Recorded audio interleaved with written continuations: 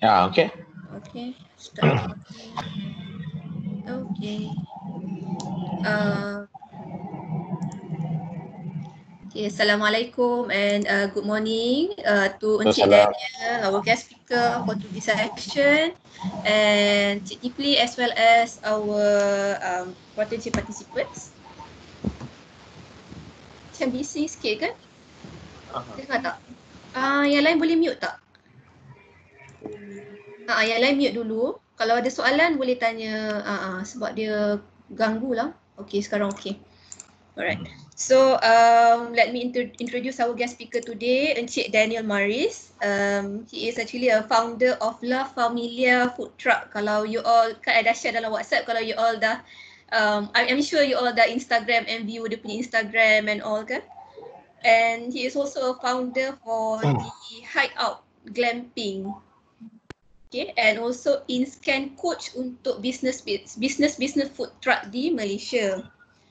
Okay, um, our talk for today, the title would be How Entrepreneurship Change the World. Yeah, Cik Daniel? Yes. So, before we start, I just nak uh, share sikit lah. Actually, how do I get to know Cik Daniel is actually I dulu uh, a fan, a fan of uh, La Familia punya mentoring. It's like masa I dengar kan bising. Ah, uh, okay, masa dulu lah, last last three years, masa I tengah pregnant, every week I akan pergi dia punya food truck to get the, ah, uh, memang the every week pasta, lah. Eh? Ah, memang pasta tu every week lah because of the price is reasonable and to me memang sedap lah and banyak tau dia punya portion. Sebab kalau usually macam food truck, kalau kita pergi mesti harga semua lebih daripada RM10, RM15 hmm. tapi you get very uh, small portion and rasa macam tak puas. Uh, tapi this one memang um, I, I suka lah, I suka and even my family semua memang akan once in a month akan pergi uh, makan dekat food truck Cik Daniel. Okay. Without Cik Daniel knowing lah. Uh, but then after that uh, ada one, ada few days juga I nampak Cik Daniel ada dekat dia punya food truck. So I tengok every time dia nampak macam tengah lepak but then every time uh, macam dengar-dengar lah kan uh, orang sebelah ni cerita pasal apa? Oh asyik cerita pasal business dia dia coach. Uh, Cik Daniel dia akan coach other people ada ada kawan-kawan yang ada kat situ lah. So uh, one day untuk uh, masa PNB punya protege uh, session I tried to approach Encik Daniel during that time uh, to give a talk lah and tengok dia punya LinkedIn pun macam oh okay banyak juga dia ni bagi uh, dia ni apa uh, was invited as a speaker lah for many organisations uh, tengok in, in scan coach lagi. So macam okay lah try lah uh, approach Encik, Encik Daniel. So that is how I know Encik Daniel uh, as a founder of La Familia La Familia. Okay, so um, okay, uh, without any further ado, I would like to um, invite Encik Daniel himself lah to uh, give the session, uh, the talk. By the way, uh, participants, um, kita kalau you all ada any question in between, please feel free to ask. Jangan tunggu at the end of the session baru baru tanya. Kalau ada je boleh je uh, tanya anytime. Hmm, kalau boleh uh, pun dua, senang kan? Ah, uh, two ways communication. Hmm. Alright, so Okay. Cik, Cik Daniel. Okay, Assalamualaikum semua. Nama saya Daniel Maris. Saya daripada La Familia Food Truck dan juga founder uh, kepada Hideout Glamping. So macam yang tadi Puan cakap tu, food truck kita dah tujuh tahun dekat industri dan kita the first food truck yang ada di Malaysia lah. Dan lepas 2013 tu akan uh, banyaklah food truck lain yang booming. So untuk yang dia hideout tu kita baru run selama satu tahun lapan bulan. Yang tu hanya di Selayang saja dekat dia Sungai Tua. Dia glamping ni maknanya is glamorous camping. Campuran benda tu glamorous camping sama dengan glamping. So itu yang paling barulah untuk kita venture. So hari ni saya akan share dulu uh, sikit uh, berkenaan food truck tu dulu lah. Saya share screen eh, Puan? Ah boleh boleh, silakan.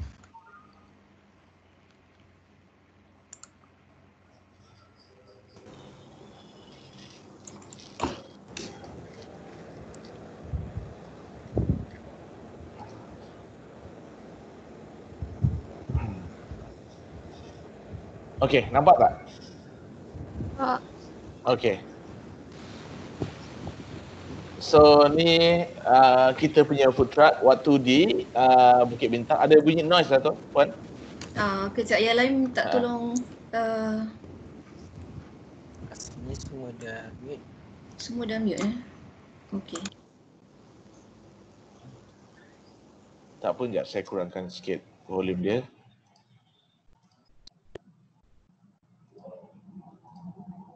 Okey.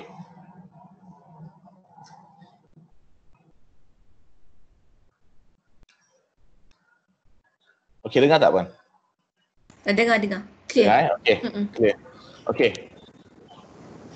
So, ni uh, slide show lah. Saya just nak intro macam mana kita punya food truck lah. Lepas tu saya akan lebih go lebih detail lah. So, ni waktu event uh, food uh, event food mega dekat uh, PJ 2015. Okay, ni uh, saya dengan partner saya lah. Kita founder lah. So uh, a little bit a background saya daripada background saya is quantity surveyor daripada uh, Twin Tech Damansara. Lepas tu saya ada action di QS juga, saya ada safety officer certificate, saya ada offshore certificate, lepas tu saya buat construction, lepas tu saya ada background sikit uh, FM, FMB lah which is kita buka cafe ni lah. So mesti ramai orang tanya kenapa macam uh, kalau tengok kat sini saya punya background semua is QS, safety, lepas tu offshore, lepas tu kenapa sekarang ni saya dekat sini buat food truck dan saya uh, buat glamping. Hmm. Okay, so memang dia macam nampak macam tak kena tapi macam along the way waktu you belajar dulu pun ya kira you mesti dah ada cita-cita betul. Memang saya dulu cita saya saya nak own apa-apa bisnes lah. Maknanya memang dari dulu pun kalau tengok saya punya background tu saya belajar QS, saya belajar safety lepas tu saya ke construction industry. Maknanya saya buka company construction saya sendirilah. Waktu tu saya uh, berdaftar dengan CIDB G4 saya buat projek lah. Saya buat renovate rumah orang pasang pasang lampu pasang kipas pasang kipas buat pagar kan. Tapi waktu tu PKK dibekukan so saya tak boleh masuk direct tender government walaupun saya ada certificate So, saya saya hanya boleh pakai G G4 CIDB saja. Bila pakai CIDB G4 saya boleh main kerja subcon saja. So dalam 3 tahun saya main tu saya tengok uh, dalam industri construction ni dia terlampau kasar. Maksud kasar ni is bila kita buat kerja uh, payment tu nak dapat tu memang a bit hard lah kalau daripada main con. Kan? Dalam 2 3 kali saya kira ditipu lah maknanya orang tak bayar duit saya sampai tahap saya orang hutang saya sampai 500 ribu untuk projek tak bayar. Tapi saya dah keluarkan duit dan pekerja saya dah siapkan benda tu kan? So saya terpaksa ambil keputusan untuk tutup construction company tu. Dan saya mulakan perniagaan uh, cafe saya di di Zaman Sarahai Jalan Dungun. Masih uh, 2012 2011 2011 2012 so daripada uh, cafe tu kita belajar saya sebab saya tak ada background food kalau you tengok So kita belajar macam mana cafe run. Maknanya cafe kalau you tengok selalu pun kitchen dia hanya sebesar uh, dalam 6 kaki kali 10 kaki saja. Yang cantik tu kat depan tu coffee machine tu uh, tu bukan kitchen. Dia kitchen dia yang menyediakan makanan lah. So dari situ kita tengok uh, kenapa kita tak pindahkan ni kepada yang mobile punya. Sebab kita banyak dapat masa tu invitation untuk catering tapi kita tak boleh pergi. Sebab kita tak boleh nak bawa equipment tu ke rumah orang tu kan. Dia macam a bit hard lah. So kita come up with dengan uh, idea kita, kita keluarkan uh, sebiji food truck. So ni uh, sikit saya punya pengalaman saya yang untuk food truck punya lah. Okay, untuk uh, ni partner saya, partner saya pun sama. Background dia is 3D graphic design. Dia besar dua universiti lah. So combination saya dengan dia sebab saya lebih kepada operation. Bila kita main construction ni, kita lebih kepada operation yang partner saya ni lebih kepada animation, graphic design. Sebab tu part dia is uh, kalau dari segi branding semua memang partner saya bekerja lah. Dari segi uh, logo, dari segi layout, dari segi menu, dari segi kalau tengok packaging makanan tu punya stiker, macam mana kenapa uh, logo kita ada gambar singa ke apa tu semua, semua tu dia punya part lah. Saya hanya menjalankan yang operation daripada menu, uh, kira staffing, management semua saya jaga. So ni uh, contoh kita punya organization chat lah dalam company lah. Sampai kita ada track satu, kita ada track dua ni dekat KL dua-dua. Yang perhebat ni is kita buat program dengan perhebat. Uh, which is bila askar-askar pencen ni semua uh, pencen orang akan duduk di Perhebat Sungai Buloh selama 2 tahun. So bila masa dalam 2 tahun tu orang boleh pilih uh, nak pilih kos apa maknanya nak uh, FMB ke, nak belajar repair kereta ke, nak fikir repair rumah ke. So kalau dekat sana orang pilih food truck, orang akan terus masuk bawah saya dan akan duduk dengan saya selama setahun lah. Saya akan train orang macam mana uh, daripada food truck ni orang boleh uh, menjana pendapatan untuk uh, masa pencen nanti. So kita ada truck dekat Melaka, uh, dekat Melaka Mall, lepas tu kita ada kajang, kita ada stall, lepas tu kita ada segamat, kita ada stall juga. Stall kita ni dia bukan macam stall biasa, dia stall berbentuk food truck. Nanti saya tunjuk gambar. Uh, so macam ni lah saya cakap, okay ni food truck kita dekat KL, macam saya cakap, uh, logo kita semua ni semua uh, partner saya punya kebakaran lah. Dia memang grafiknya orang kan. So dia pun punya makna tersendiri lah maknanya ikon identiti kita lah. Daripada awal pun kita nak main food truck ni pun kita dah planning sebab memang kita nak ada brand identity sendiri. So macam logo ni semua kita dah set trademark kita dah uh, kita dah bayar semua untuk apa uh, untuk lulusan government lah So kita serve Italian food and drink, kita serve dua operation, lunch and dinner. Lunch kita dekat Dalam Dungun dan Masarahat, malam kita dekat Taman Tun untuk KL lah. So ni normal sale uh, kita kita serve lah. Normal sale uh, daily kita boleh pergi up to 1500 untuk dua operation lah.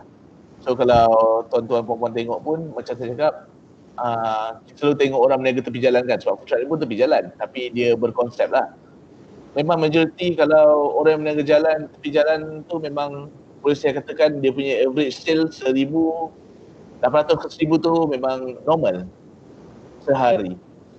Kalau kita rajin sikit kita buat catering tu, kalau kita buat event memang empat ribu hingga enam ribu lah sehari sale dia. Memang kita boleh dapat. Macam kalau catering, macam kita orang punya 8 miliar catering, bila orang tanya buat catering, yes kita buat. Catering kita berharga 99 untuk satu serving maximum is 5 jam kita duduk kat rumah orang tu. So maknanya kita duduk 5 jam kita dah dapat 1000. Selalunya food margin is 40% to 50% sajalah. Lagi 50% tu is you punya uh, profit lah. So macam kita ada package untuk catering birthday juga.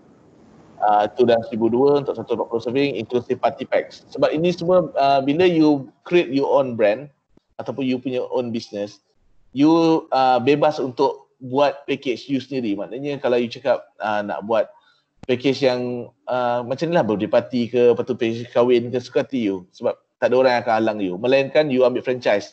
Kalau franchise uh, you ada uh, ada kekangan lah.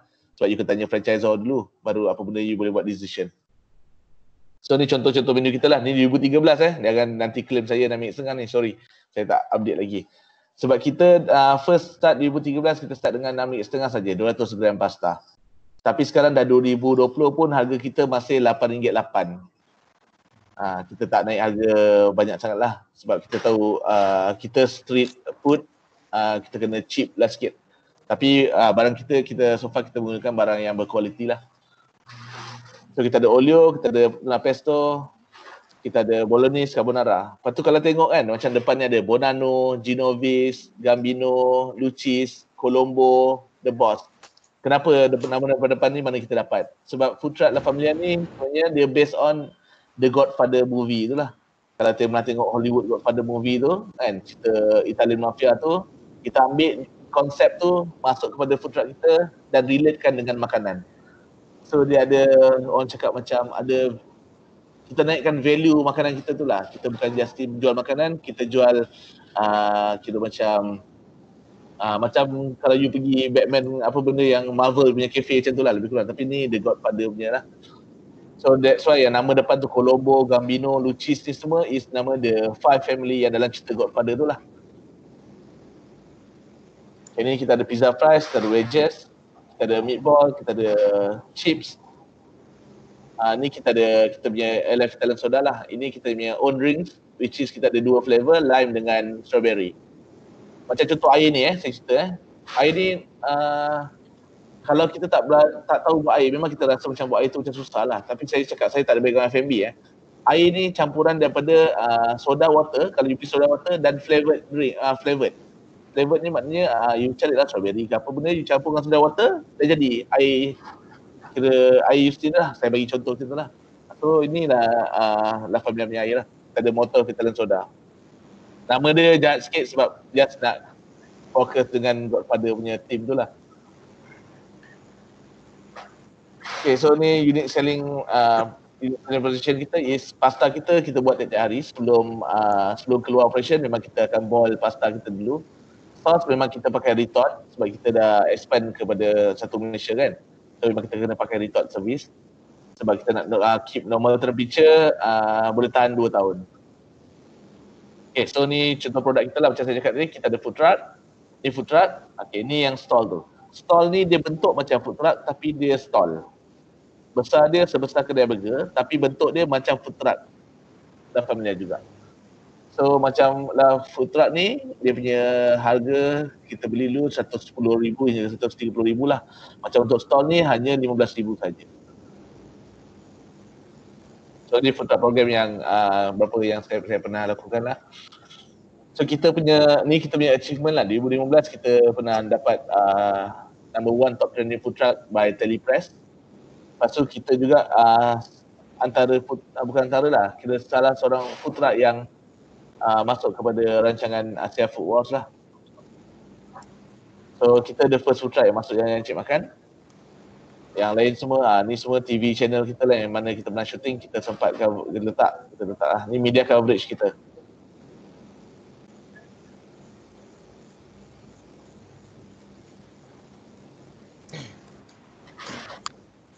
Okay, macam media coverage ni kan, uh, saya, kalau tengoklah TV coverage, media coverage. TV kita dah cover, ada, saya rasa lebih daripada 30 channel. 30 rancangan lah, 30 rancangan. Lepas tu macam media coverage ni, saya pun rasa lebih daripada 30 hingga 50. Lepas tu banyak orang tanya saya, macam mana you boleh dapatkan reporter ataupun uh, uh, director uh, untuk cover you punya business? Saya cakap, saya tak pernah panggil pun. Hmm. I tak pernah panggil, I tak pernah email, I tak pernah contact pun, I tak pernah tanya kawan-kawan pun. Sebab you kena faham unique selling proposition tu lah. It's your product tu lah. Hmm. Kalau produk you unique, uh, automatic orang, sebab dia orang blogger ataupun reporter, dia orang everyday Google cari untuk benda yang baru. Hmm. Dia orang cari benda yang baru untuk konten dia orang esok hari. Kerja dia orang banyak tau. Setiap hari konten dia orang baru, baru, baru, baru. So, apa benda yang dia nak, dia akan Google. So kalau you kuat dekat online, maknanya kalau I google satu nama you, Alif contoh, Alif uh, nasi lemak. Kalau you boleh keluar 16 page lepas tu, uh, memang reporter akan contact you lah. Sebab dia pun nak cari benda yang berkualiti untuk dia cover lah. Macam kita sampai ke Singapura, Thailand, paper Singapore, paper Thailand semua datang sini cover kita. Kan? Sebab kita tak pernah keluarkan marketing, uh, maknanya kita bukan cakap benda besar lah, ada marketing budget, tak ada kita pun start dengan startup lah punya start buka first day tak takut kan? Terus run operation so far alhamdulillah kita dah tujuh tahun lah. Kan contoh macam magazine ni semua uh, semua dia uh, kira paling kuat pun kita belajar dia makan pasta je. Hmm. kan? So yang uh, yang paling kit saya paling suka dulu magazine yang dalam ni lah. Ada satu tu mana ah ni going place. Yang ni kita pun tak sangka. Bila naik ah Malaysia Airlines bila naik MAS kita ada dekat MAS selama setahun waktu tu. Kita pun tak tahu. Kan? Sebab dia masa ni dia by email email interview je. Kan? Ah so benda macam ni lah. Saya tak pernah invest kepada marketing yang mahal. Saya just do Instagram posting every day satu gambar share kepada Facebook dan uh, Twitter tu je. Yang lain semua memang automatic dia generate lah. Ni ah ni media coverage kita lah TV. Kita pernah dapat panggilan dari dia kan. Pasal Malaysia hari ni KL TV. Pasal Malaysia hari ni lagi ni semua ah, rancangan TV yang kita pernah cover lah.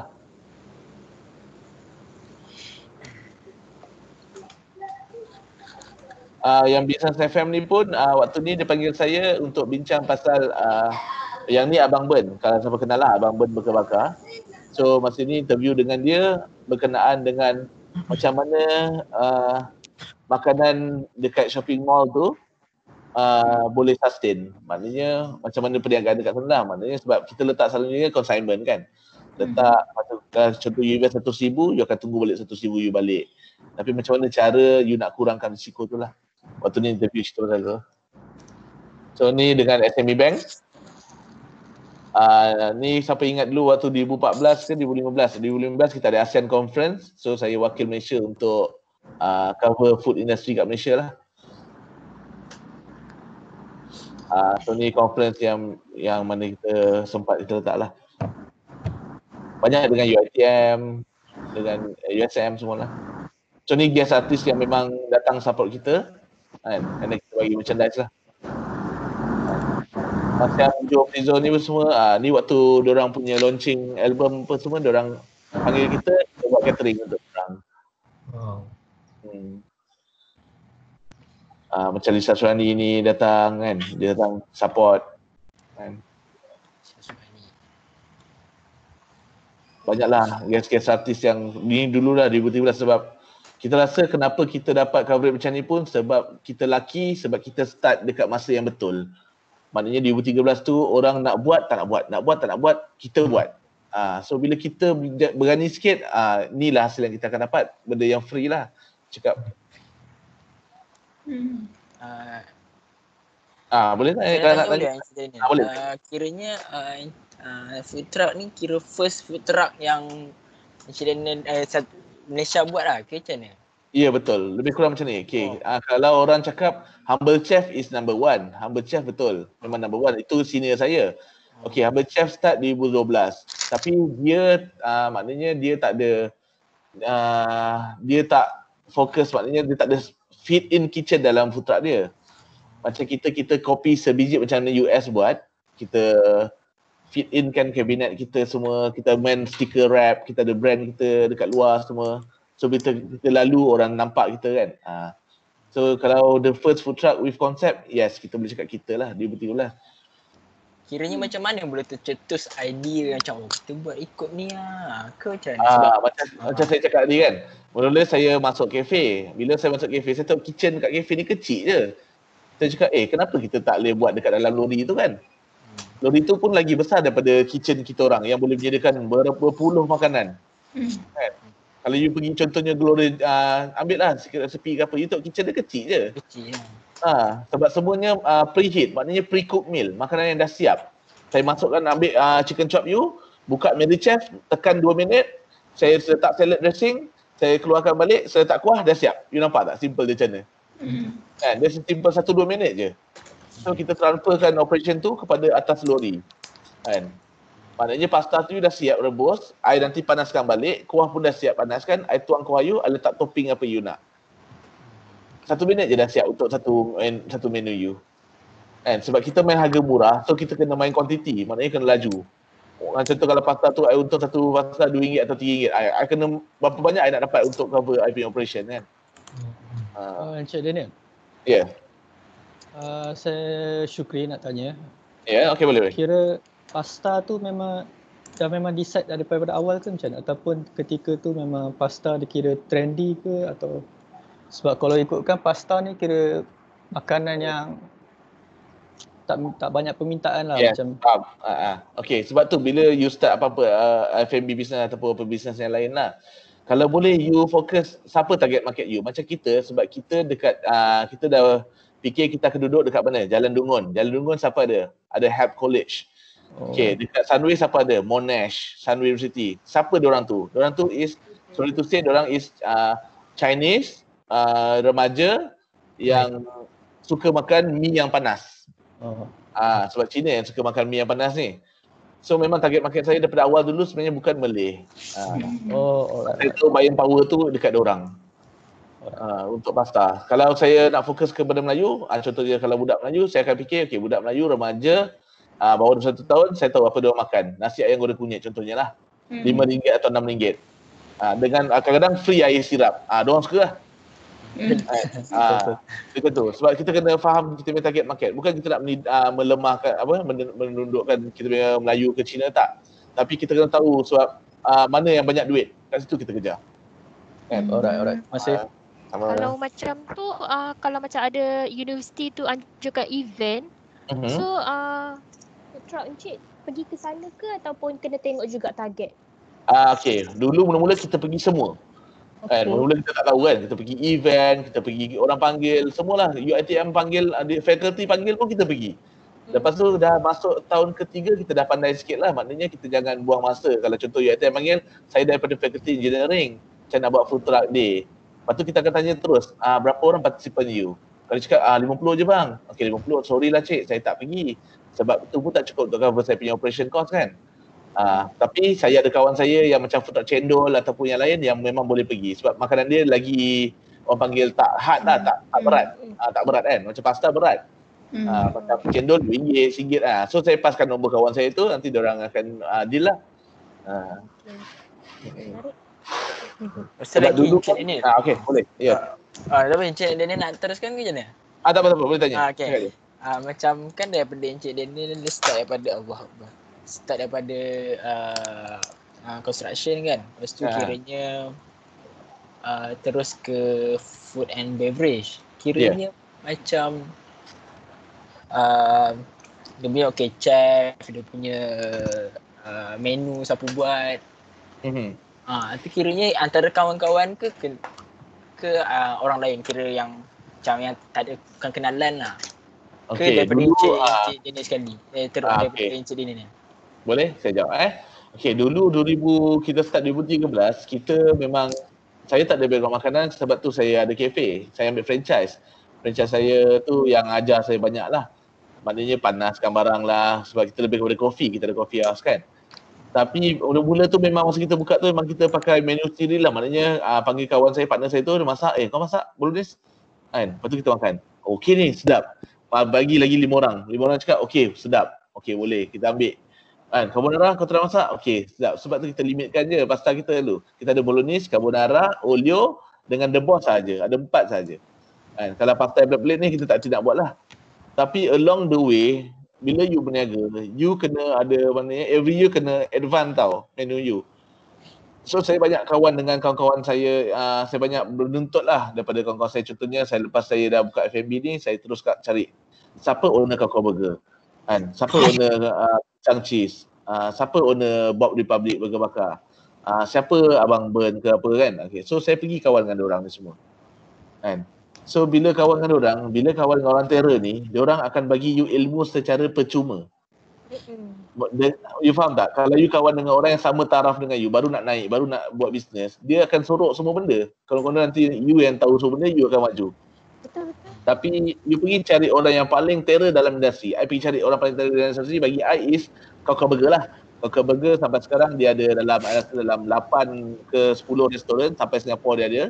Kan? Hmm. dan dia dah rasa dah berapa dah 10 tahun lah dekat industri kan. So saya kawan dengan dia. Sampai sekarang saya kawan baik dengan dia kan. And then sekarang saya dah jadi partner dah dengan dia. Kan. So dekat situ kita belajar macam-macam. Makanan every year kena advance. Maknanya dulu you rasa macam ni, tahun depan kena lagi sedap. Tahun depan kena lagi sedap. Tahun depan kena lagi sedap. Ha. Sebab kalau you tengok orang R&D food, kalau boleh every six month orang R&D food baru.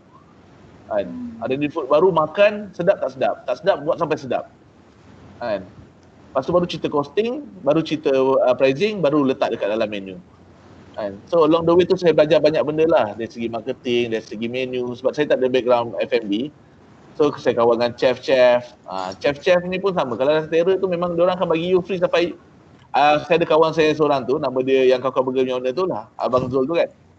Dia kalau cerita kalau saya tanya dia pasal daging je saya tanya bang macam mana nak buat daging yang sedap?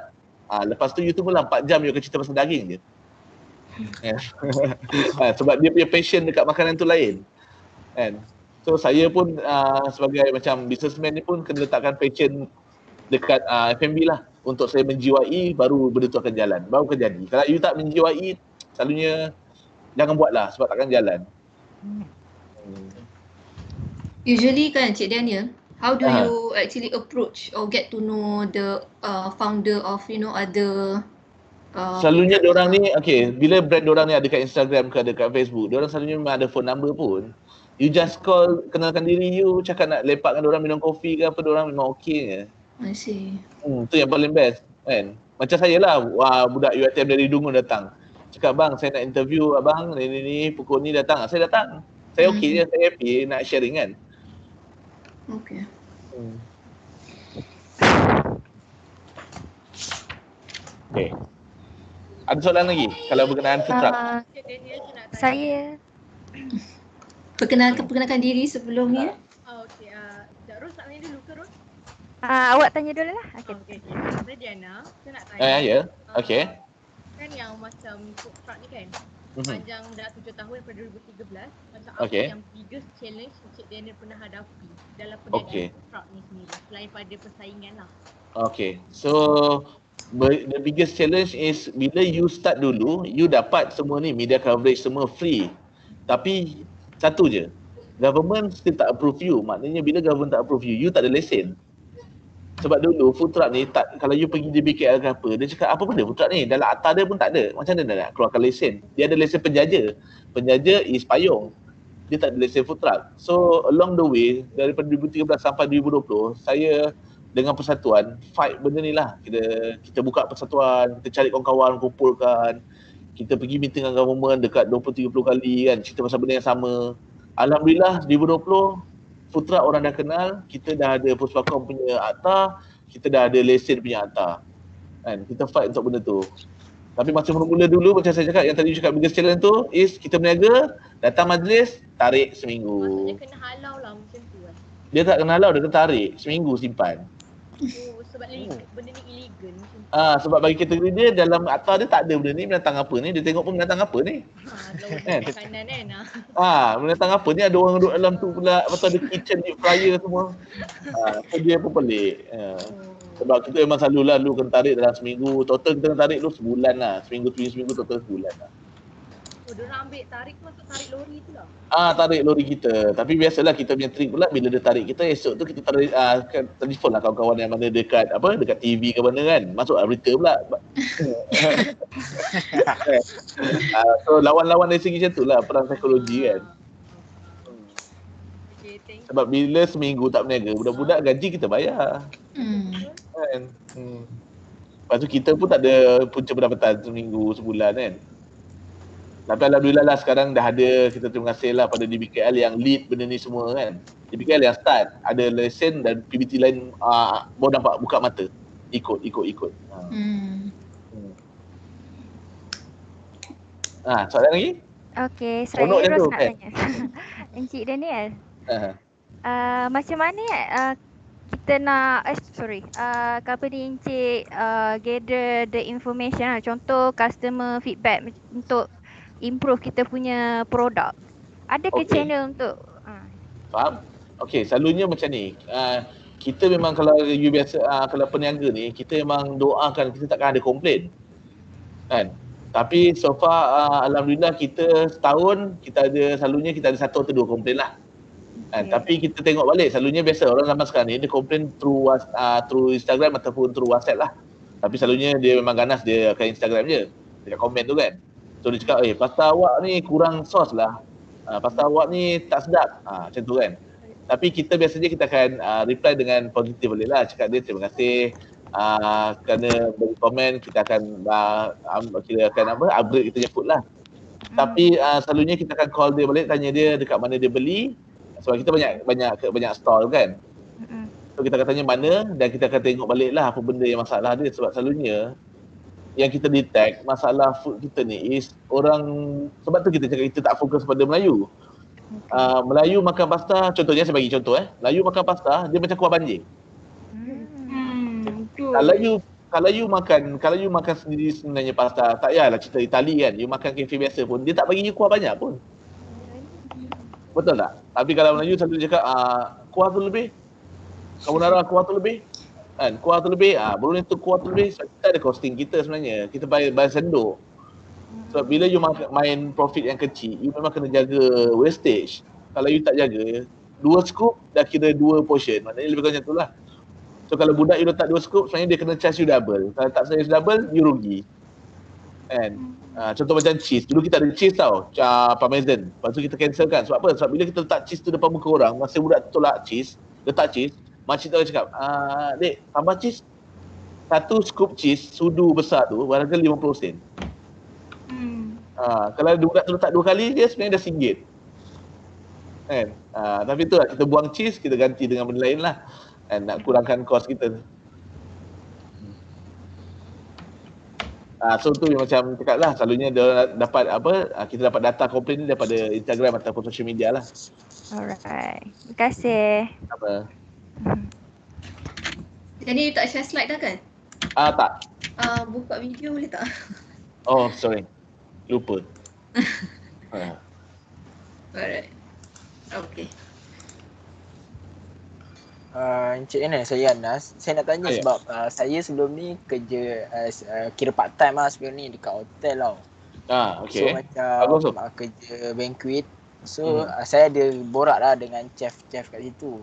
Mhm. Kiranya uh, betul ke uh, pandangan ni cakap okay, sebenarnya uh, dalam food beverage ni dia tak boleh masak sedap sangat. Uh, dia Hmm. macam bukan, dia macam maksudnya dia macam tak boleh nak okay, kita buat spaghetti kita Faham, buat faham. macam dia memang perfect lah, memang perfect betul.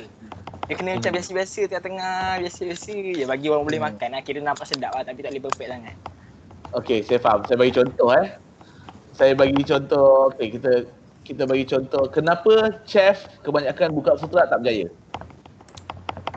Okay, sebab kita bagi satu contoh lah. Okay, bila you dah kerja dekat hotel, gaji you besar, contohnya you dah jadi sous chef ke apa kan. So, makanan tu, uh, value dia tu dekat you tau. Contohnya you buat pasta, lepas tu tanya, orang tanya, berapa nak jual ni chef?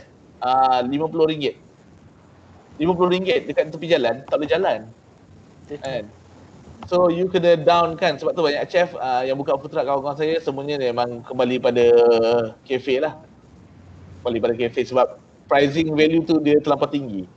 So ber, uh, uh, berbeza pula dengan kita ni yang tak tahu apa, lompat masuk tapi kita faham street culture. Maknanya kita sendiri pun orang yang tak apa nak senang duduk tepi jalan kadang nampak uh, air jambu beli, nampak burger ramli makan. Kita tahu apa orang ni nak tau. Kan? So, macam you cakap tadi, chef cakap tak boleh jual yang sedap sangat tu maksud saya macam kita cakap lah, kita pergi hotel pun tak semua sedap kan? Hmm. Tapi yang lagi sedap, dia cakap street food lagi sedap betul. Kan? Makcik bedah yang jual uh, nasi ayam goreng kunyit kat tepi tu lagi padu uh, sambal dia kan. Uh. Sebab apa? Sebab orang kat tepi tu lagi menjiwai produk dia untuk siapa. Maksud saya target market dia. Bila kat hotel, you jadi chef, you duduk kat kitchen, you tahu yang datang depan tu semua ada duit. Diorang duduk, kalau tak duit, dia akan bayar pakai kredit card. You charge lah macam mana pun, dia akan bayar. Kan? So, hat, ah, hati you dekat food tu sebenarnya pun dah kurang. Melainkan you chef yang apa yang uh, yang yang buat yang salt salt apa tu? Hmm. Salt bay tu. Ah, dia ah, dia lain. Dia chef lepas tu dia BYE makanan dia kan. Kan dia punya pergi tu lagi gila lah. Maknanya lagi orang cakap macam kat Dubai dia ada restoran around the world kan. Dia ada. Sebab kalau chef dekat hotel kita menjiwai food, maknanya uh, boleh ceritakan cafe, restoran hotel tu buat sale lagi banyak daripada hotel tu. Ah macam tu lah maksud saya. Kan? Tapi selalunya biasalah bila makan gaji kita tak berapa nak fikir sangat pasal profit and loss ni. Kan? Kita akan fikir macam ah tak apa, gaji aku bulan hujung bulan ni ada kan. Sebab kalau you nak contoh macam saya cakap kan orang yang tepi jalan ni dia orang fokus makanan kalau betul yang sedap tu memang dia orang akan maintain kualiti sedap tu. Contohnya saya bagi siapa pernah dengar mi bodoh kat Melaka. Kan? Mi bodoh pernah dengar kat Melaka? Nah, Pernah Eh, dengar tak pernah try. Okey, kedai tu daripada saya kecil eh. Saya rasa dari 1985 lah. Kan? Dia orang beratur tiap hari sampai sekarang. 1985, 2020, you tolak berapa puluh tahun. 35 tahun. Orang beratur. Bila you beratur, you dapat apa? Mi goreng kosong dengan sambal yang berminyak. Itu je. Tak ada udang, tak ada sotong, tak ada apa. Mi goreng kosong. Kan? Tapi orang tanya, kenapa yang sedap sangat? Dah lah nama mi bodoh tak sedap pun.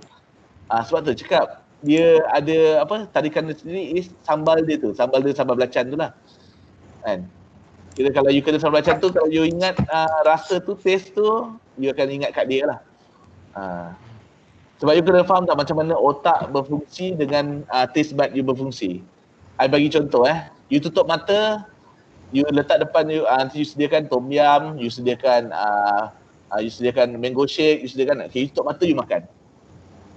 Kan you tutup mata you makan you boleh teka. Ah ni tom yum. Kan ah ni ah, mango shake. Sebab sebenarnya apa yang you rindu is manis pedas masin. Tiga benda ni ya. Kedai tom yum main masin.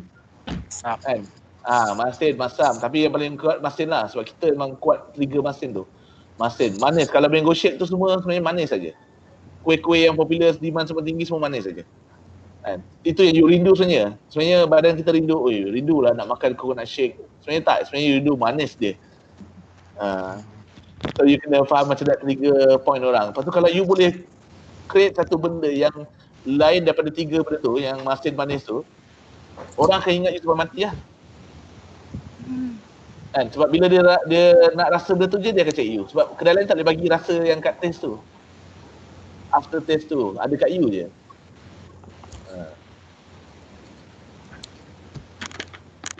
Okay eh? Saya jawab soalan tu tadi. Okay, terima kasih Encik Daniel. Apa? Cik Daniel. Ah, ya.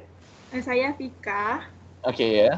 Yeah. Uh, uh, uh, in future ni, apa lagi Cik Daniel nak improve dekat food truck Cik Daniel? Okay, untuk food truck ni sebenarnya saya sebenarnya dah sampai uh, level, kira orang cakap 90% lah.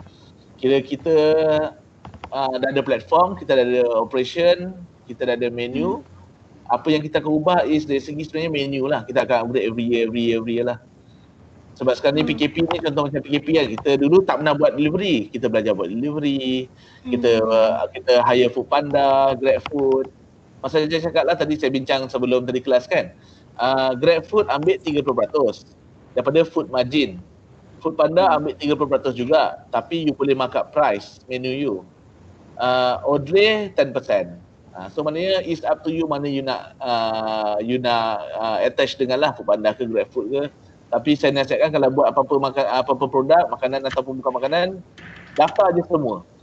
Sebab dia orang hmm. buat marketing untuk you secara percuma. You bayar bila ada orang order sahaja. Uh, so kadang-kadang ada orang macam eh tak nak lah daftar. Kenapa? Oh nak kena bayar 30% lah. Kalau tak ada orang order tak ada bayar bro. Bukan macam tu lah. Kan? Uh, Uh, sebab kalau orang tak faham. Ha. Kan? Nah, ada soalan lagi? Cik, Cik Daniel, Assalamualaikum. Ah, ya. Assalam. Ah, Fakri sini. Ya. Yeah. Uh, soalannya adalah macam La Familia ni dah uh, since 2013 kan? Uh-huh. So macam mana Cik Daniel sustain daripada waktu mula sampai sekarang macam mana macam kita tahu yang maybe food truck pada awalnya tak berapa apa hmm, dapat sambutan kan? ha, jadi macam mana uh, pihak Daniel sustain daripada waktu tu dengan perbezaan yang waktu dulu dengan waktu sekarang yang dalam masa dalam setahun dua tahun ni macam mana? Okey. Sebab, ha, sebab eh, uh, saya jap satu minit jap. Ada ni jap. Technical jap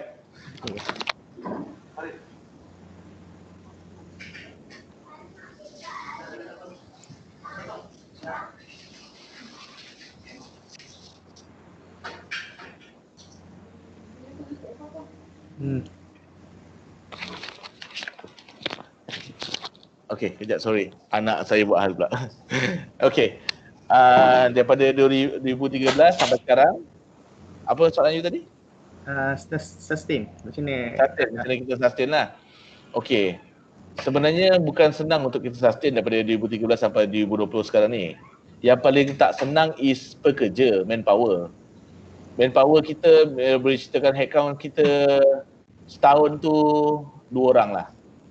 Memang tinggi lah account tu. Memang dia akan bertukar-tukar sebab kita dapat settlekan isu ni lepas uh, kita bincang balik dengan kita punya staff, tim kita apa sebenarnya yang hours yang dia orang nak. Sebab bila cerita pasal food truck ni, dia cerita pasal tepi jalan dan dia uh, main long hours. Maknanya kalau lunch tu uh, 11 sampai 2, uh, dinner 6 sampai 12. Kan? Dia orang yang sama uh, cuma dia ada split shift je.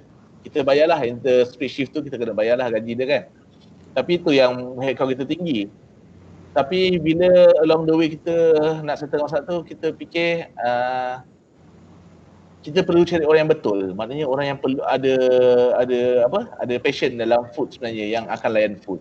Walaupun dia food truck, senang ABC. Memang saya cakap makanan saya you boleh buat. Sebab panaskan je dah siap dah. Tapi kalau you tak ada passion dekat food, memang you takkan buat. Walaupun senang ABC. Ah. So along the way kita tengok bila kita ambil yang graduate daripada culinary kan, oh dia orang kerja lama, dia orang sustain lama dan dia orang lagi banyak feedback bagi idea macam-macam bagi. Uh, so kita cakap okey lah memang kena ambil culinary student ataupun yang ambil engineering tapi minat masak. Ah kan. Uh, the combination itu dia memang akan okay. So far alhamdulillah macam tu. Uh, lepas tu bagi helper seorang, orang Indonesia ataupun orang Bangladesh yang boleh tolong orang, uh, lagi orang happy. And so sustain sebenarnya dari segi manpower tu memang saya cakap tadi tu saya cerita macam mana saya sustain. Yang dari segi produk makanan macam saya cakap. Satu soalan saya tanya, dekat dekat depan kedai rumah you all semua ada kedai burger. Kadang-kadang kedai burger tu lebih dari 5, 5 tahun. Kenapa dia sustain? Jawapan dia satu je. Tiap-tiap hari buka dan duduk tempat yang sama. Hmm. Kan? Bila you otak you fikir nak makan burger je kat rumah, you akan ingat abang burger kat depan tu. Kan? Padahal abang burger kat tu tak ingat pun you. kan? Ah, lebih kurang macam tu lah. Kalau jauh cerita macam mana sustain, you kena ada uh, maknanya every day lah. Kan? Kadang-kadang orang kita buka tutup, buka tutup tu masalah dia. Lepas tu cakap bisnes tak laku. Kan tak, orang cari dia waktu dia tak ada tapi dia tak tahu. Kan? Uh, lepas tu awareness dari segi online lah macam saya cakap. Saya pun bukannya uh, pakar social media tak. Saya pun masih masuk belajar dengan Instagram. Belajar masuk kelas macam mana cara posting. Belajar everyday belajar. Sebab tapi kena satu hari syarat saya kena satu post. Apa bisnes saya semua satu hari kena satu post. Walaupun gambar saya dengan makanan tu ataupun gambar saya dengan tangan makanan macam-macam lah kan at least awareness sebab orang sekarang kan everyday kan scroll Facebook ah uh, 2 jam Instagram 6 jam kan so lebih kurang macam tu lah saya so bila dia scroll tu dia nampak kita walaupun dia tak pegat tak tekan like kita tapi dia tahu kita hidup lagi lah. Hmm. attraction lah kena ada. Ah yes attraction tu kan. Faham faham. Okay. Okay okay. Uh, uh,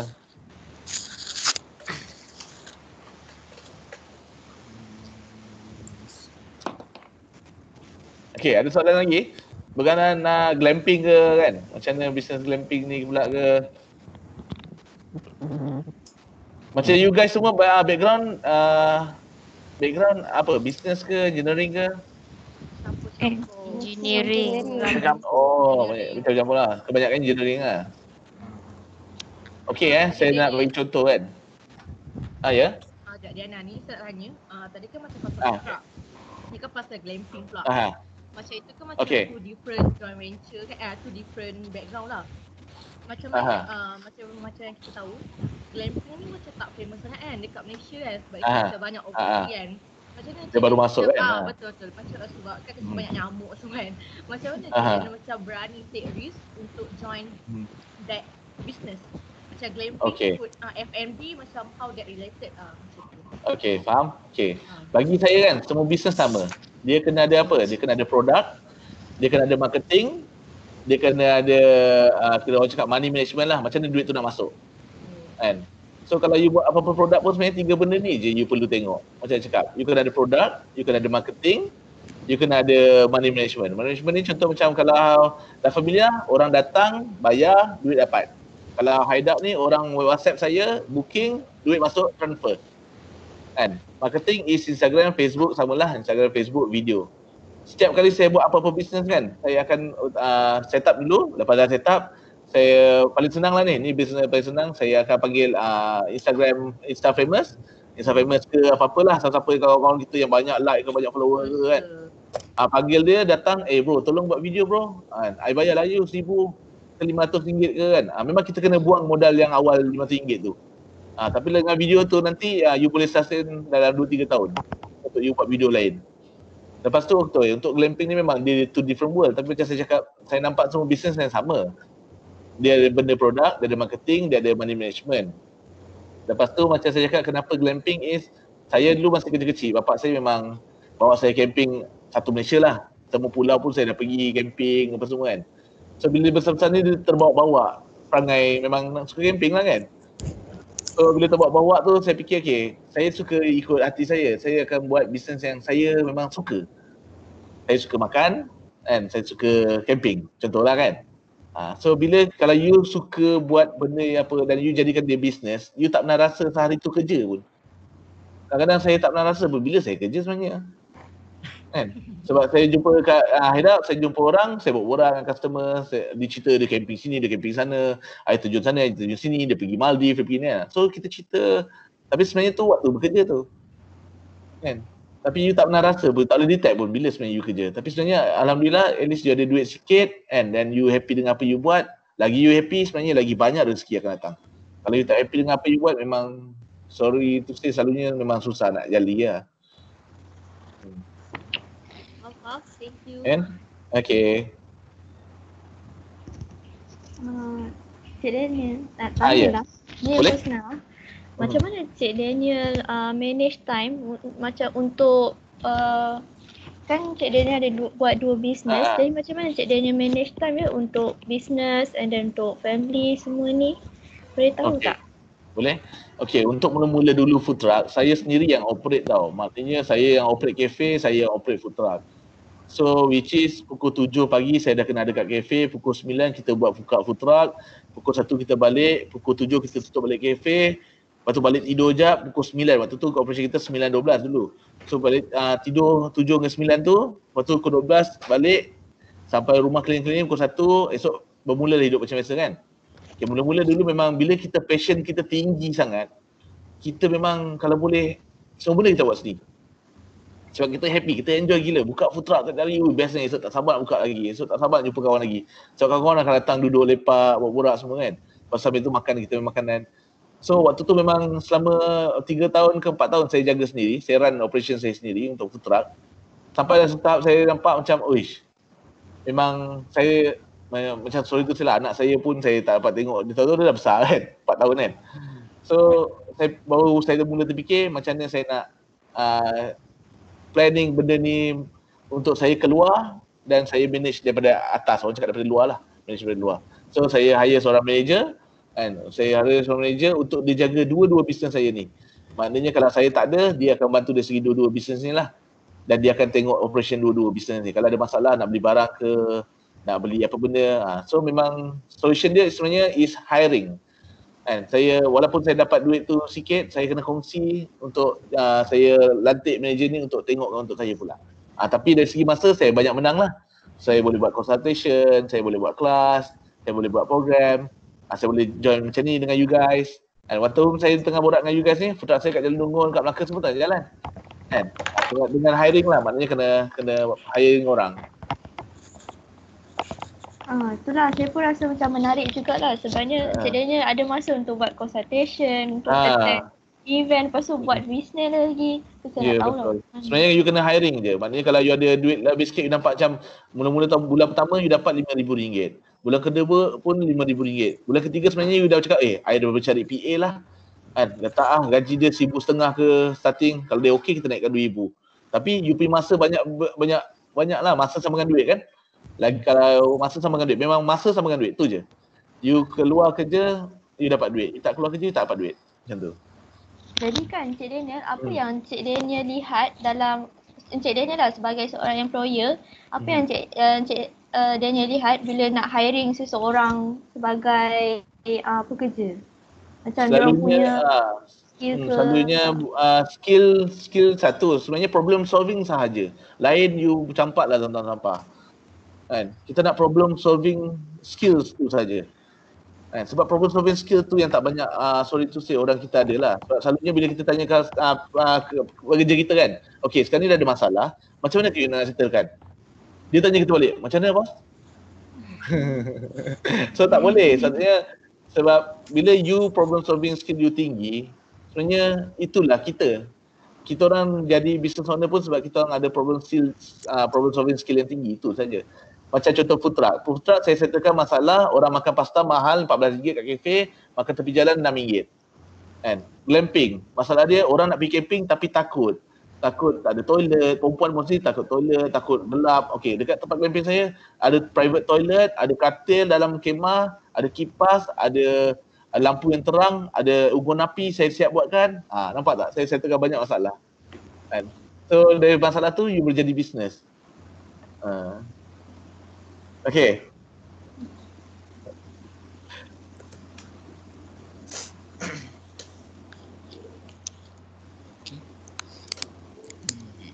Ah, ada soalan lagi? Assalamualaikum, uh, Cik Salam. Daniel. Ah, ya. Uh, saya Syafiqah.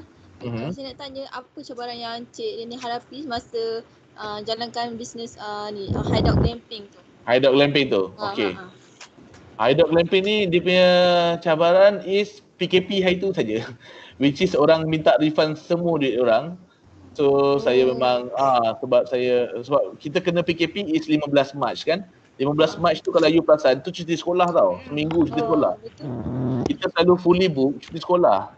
Memang kita dah fully book. Bila dia kena hari Selasa tu memang memang sakit jugalah tapi tak apalah kita selalunya bagi dua option kat customer which is you nak refund ataupun you nak simpan untuk tangguh next next date lah. Tapi selalunya bila itu dah hujung 3 bulan dia orang kena dia orang cakap macam bang saya ada duit lah bang. Uh, boleh tak transfer balik duit saya? Uh, memang kita akan transfer lah. Kita akan refund lah. Lepas tu saya nak sambung balik tadi macam ni nak uh, well manage kan. Saya banyak pakai software yang berbayar tau dekat dekat uh, iPhone saya which is macam-macam booking system. Booking system saya pakai uh, saya pakai software iBet nama dia tu. So dia banyak tolong saya dari segi bila orang uh, booking online semua masuk ke dalam sistem tu. Lepas tu kita boleh tengok je terus. Bayar dah ke belum semua benda tu. Uh, so macam kalau nak kurangkan pekerja, kita invest pada sistem pula. Ha, macam ni lah Microsoft ni semua kan, Microsoft Team ni semua lah. Ni semua investment lah. Tapi senang kita walaupun you kat rumah, kita boleh jumpa macam ni lah. Terima kasih. Eh, sama. Encik Daniel. Ah, ya. Ah, so, saya Afika nak tanya. Hmm? Uh, sebab uh, setakat ni yang hideout glamping tu baru ada satu location kan? Ah, ya betul. Ah, so uh, Encik Daniel ada plan ke untuk expand business ni outside Klang Valley? Sebab yang uh, yang food punya business tu dah expand ada uh, outside Klang Valley kan? Ha. Dia macam ni, bentuk glamping tu sebenarnya memang memang sebenarnya kita punya cerita is nak buka banyak lagi tempat lah sebab next konsep yang saya akan main lepas ni is uh-huh. uh, bus.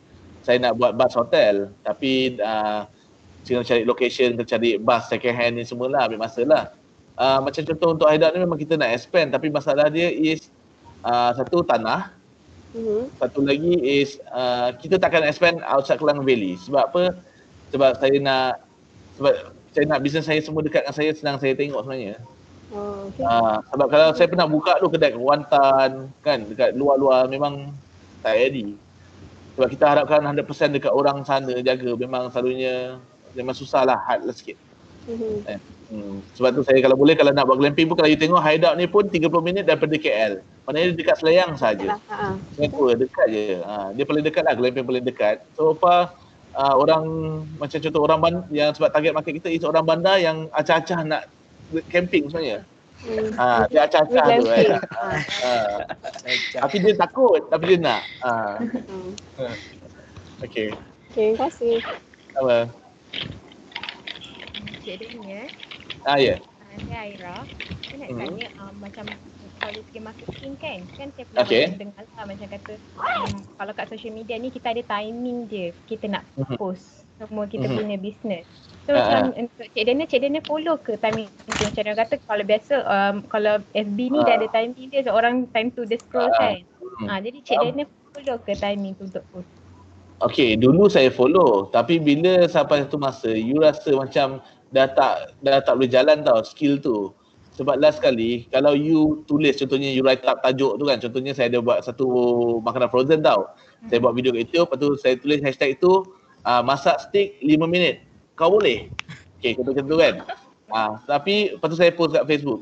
Tak ikut time pun tapi bila setiap kali kawan you like dia akan naik balik ke atas tau sebenarnya. Hmm. Kawan you like je, kawan you lain akan nampak ke atas. Kawan you like sebenarnya like tu lagi penting daripada time sebenarnya. Kadang-kadang satu post tu lah sampai berhari-hari ada orang like. Eh, esok ada orang like. Eh, esok ada orang like. Ha. Kena akan naik-naik. Sebenarnya konten ayat dia tu kena kena orang cakap lain daripada lain lah. Kan? Macam saya pun belajar pergi masuk kelas copywriting dia ajar saya. Saya pun tak boleh sebab saya etis uh, etisnya orang kan. Sebab saya tak biasa dengan millennials punya benda. Hmm. Tapi saya kena belajar lah. Kan? Macam millennials cakap, uh, tak boleh cakap, uh, dulu macam saya, saya awak tak boleh. Kena cakap kau aku kan baru orang sampai dia kata kan ah uh, macam tu kita belajarlah ah uh, sebenarnya ayat caption tu lagi penting daripada timing ah uh, timing pun ah uh. okey terima kasih okey sama Lepas tu kalau siapa yang tak tahu hideout tu boleh try google lah hideout. So far hmm. saya boleh banggakan sikit sebab uh, kita dah run setahun 8 bulan. Kita punya Google review is memang sangat memberangkangkan lah saya memang happy dengan apa pencapaian uh, tim kat sana buat lah. Maknanya dia layan orang betul-betul, bagi servis terbaik kan. So orang akan tulis review kat Google. Google dia tak boleh delete. Kalau orang tu tulis you suck, dia tak boleh delete tau. Kan? So far Alhamdulillah kita ada review memang saya memang happy dengan review tu lah.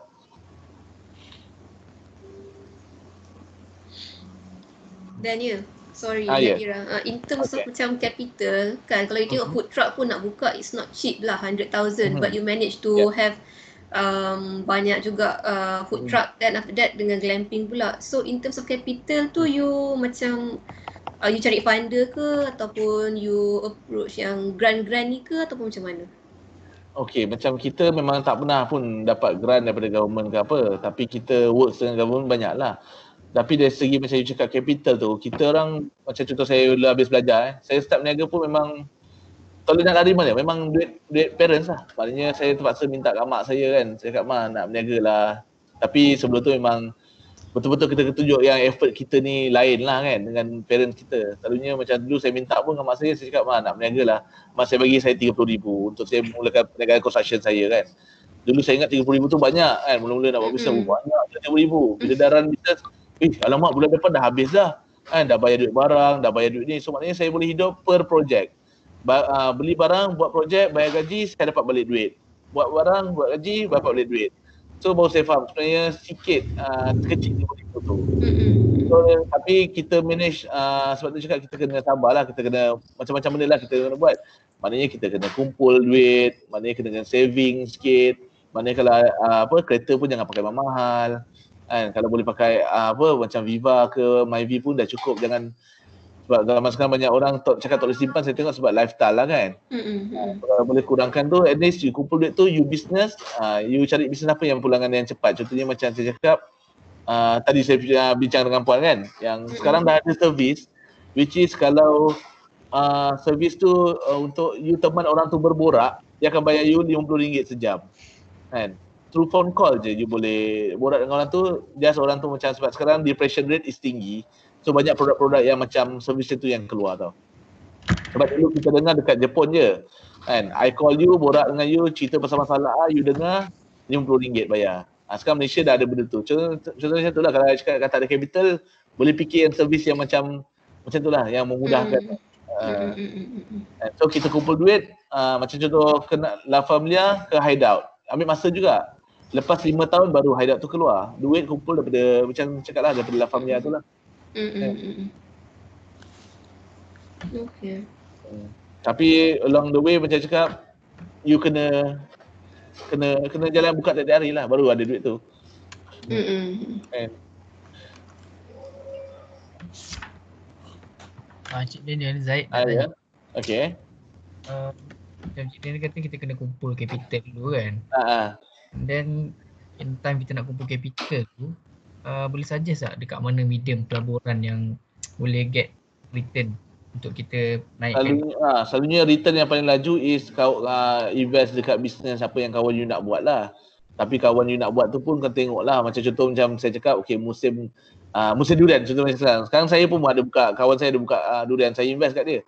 Okay, dia cakap, ah, ni durian ni aku dapat ni. Okay, dia dah kira-kira kalau aku beli ni, ni, kalau tak ni, ni kan benda yang cepat kan. Uh, so you, kalau you ada seribu dia cakap okay nanti habis musim durian aku bagi kau dua ribu. Uh, contoh macam tu lah. Kan? Tapi you kena tengok kawan tu kalau kawan tu betul-betul serius sebelum ni track record dengan you pun cantik dia memang orang yang legit okay invest. Kalau dia pun sebelum ni tunggal langgang tak payah janganlah. Kan? Nanti you, you pening. Selalunya uh, memang tak ada. Memang orang kita orang pun tak start macam tu lah. Maksudnya saya pun tak berani nak cerita sebab saya apa yang saya start is duit mak bapak saya hmm. dan sikit. Lepas tu saya buka berniaga sebab lagi you takut tau pakai duit mak bapak sebenarnya daripada duit orang. sebab kalau sebab you tahu chances hidup you sekali je. Mak you akan kasih pinjam sekali je. Kalau you tak berjaya, mak you takkan bagi pinjam dah. kan? Ha, so you akan buat betul-betul lah tu. Cakap tidur pun tak kisah. Dan makan pun tak kisah kan. Tahu, niaga, happy, dapat duit. Ha. invest dekat kawan-kawan yang buat bisnes juga kan? Ah, invest dekat kawan-kawan yang bisnes yang macam cakap ya, yang legit lah contoh macam ah, okay, hari, sekarang musim durian. Hari tu raya lemang, ah, kawan saya nak buat lemang. Eh Dan aku nak cek buluh ni kan. Ah, nak beli satu buluh singgit, nak bayar. Boleh tak jom kita join. Ah, macam tu macam tu lah. Kan tu jual lemang sebab lemang kos dia dalam bawah bawah RM5 je. Dia jual sampai RM12, RM15. Kan? Tapi kalau boleh jangan masuk dalam operation tu. Biar dia orang settle operation tu sebab nanti kan eh, selalunya gaduh kalau you masuk dalam operation tu.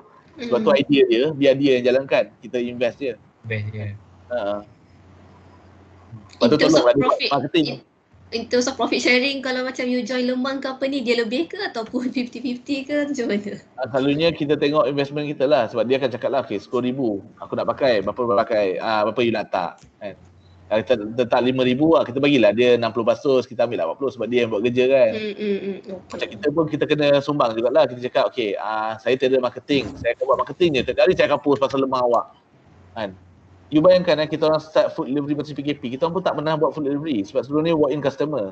Kita pun takut. Tapi tiap-tiap hari saya post saya post dan saya share post tu kepada 100 group eh. Sebab 100 group je Facebook akan block saya So lepas 100 Facebook saya memang saya kena block sehari. Esok saya buat lagi. Saya buat hari buat. 30 hari saya buat. Alhamdulillah dia hasil dia naik. Memang you cakap tak ada orang tengok lah. Memang tak ada orang tengok. Tapi ada orang tengok. Kan? Masa lah kan. Ha, lepas tu yang saya pelik yang saya baru belajar waktu PKP ni kan selalu kalau kat blog-blog kat grup orang cakap hari ni nak makan apa ya kan betul tak? Ha. Kan selalu ada orang tu kan. Saya ingat tu macam scam ataupun dummy post tau. Tapi saya uh, kira saya selalu layan tau komen tu. Saya jadi orang pertama post. Betul dia order kat saya. Saya cakap macam wow. Malasnya orang Malaysia ni. apa makan apa pun kita nak fikir tu dia tu. Sebab dia akan post uh, hari ni nak makan apa. Lepas tu saya post lah. Okay saya ada pasta, saya ada ni kan. Dia cakap okey lah dek. Boleh dah pasta hantar kat ni ni. Dia cakap eh legit maknanya posting tu. tapi tapi memang Cik Daniel sebab bagi saya sekarang ni trending uh, trend trend orang lalui Facebook. Ah betul kan. Saya Kalau- kelakar. kalau- lah. ah, Saya ingatkan tipu. Lagi kalau macam orang yang berjual makanan ni kan. Ha. Saya, uh, saya rasa keduduk je lah kat Facebook tu. Diorang je dah mana-mana Ah, group. ah, betul. Ah betul sebab masuk PKP ni macam-macam uh, produk baru keluar tau. Which is saya kadang support juga saya beli uh, orang tu buat apa tulang merah lah, tulang hijau lah macam-macam lah kan. Ya, kita support, kita beli. Tapi kita tanya lah waktu dia delivery tu tanya, Dik, dah lama ke berniaga? Eh tak ada lah bang, tak PKP ni. Ah, okey lah cakap kan. Ah, lepas tu bila kita makan, kalau sedap tu kita cakap, kita pujilah dia, kasih dia semangat kan. You sedap adik, bagus lah kau buat resipi kau, uh, mana dapat belajar semua. Ah, bagi dia semangat tau. Sebab kita tahu dulu kita berniaga pun macam tu, Betul. Kan orang bagi feedback tu yang buat kita rasa macam eh, tak sabarnya esok aku nak masak untuk dia ni. Ha, macam tu kan. So kalau boleh support uh, dengan komen uh, positively. Negatif uh, macam saya etis selalunya parent saya ajar kita orang kalau tak suka senyap. Kalau suka Hmm. cakap. Ha, tapi millennials lain. Millennials tak suka cakap, suka dia, senyap- dia senyap. Ha, dia lain. so, kalau boleh uh, uh, biasakan bagi feedback sebab tu pun salah satu sedekah kan you tak ada duit tapi you cakap bang terbaik bang ayah abang sedap sebenarnya tu pun you dapat pahala Tapi ikhlas lah. Ah ikhlas lah. Kalau dia ikhlas. Kan? Sebab selalu kita banyak benda yang kita tak cakap kan? Disimpan So macam in in your point of view, um, you rasa macam for every business should have a partner ataupun better go alone? Uh, sebenarnya better go alone because kalau you kiok, you kiok alone. kan? Sebenarnya sebab partner ni selalunya macam saya nasihatkan kawan baik saudara mara adik-beradik jauhkan sebab you akan gaduh. Confirm. Potong jari tak gaduh cakap kan? So selalunya kita nasihatkan uh, maximum is dua partner lah. Maximum, Maximum. is dua saja. Dan lain-lain kepakaran. Sebab you takkan clash. Macam saya dengan partner saya kan? Dia buat uh, dia buat grafik saya buat operation. Sebab takkan takkan ada isunya sebab dia cakap aku tak tahulah dia buat operation dan saya pun cakap dia aku tak tahulah buat grafik Mm-mm. Compliment you, compliment each other lah. Yes. Takkanlah doing the same thing. Ah, takkan, takkan ada punya. Kan? So, kalau boleh cari power yang berlainan. Kalau lima orang pun power yang berlainan. Kan? So, yang, uh, yang seorang power api, seorang power air, seorang power angin. Ah, macam tu lah. Kan? Ah, cek benda kan. ah, so baru you rasa macam tenang tau. Sebab apa? Bila you propose something, kawan you yang lain takkan takkan cakap you salah. Ah, tapi dia akan tolong you fikir sekali. Ah, betul tak kau cakap kan? Ah, apa kata kita buat macam ni? Ah. Kan? So itu yang you nak. Pers- apa kira orang cakap office yang uh, kira bisnes yang sihat lah. Kan? So bila bisnes yang sihat macam semua orang happy macam cakap. Sebenarnya kita you kena happy dengan apa you buat, rezeki tu akan masuk sendiri.